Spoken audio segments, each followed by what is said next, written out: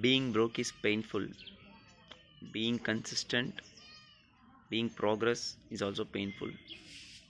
But nothing is more painful as stuck somewhere where you don't belong to. So hustle hard. It's just said to me by me.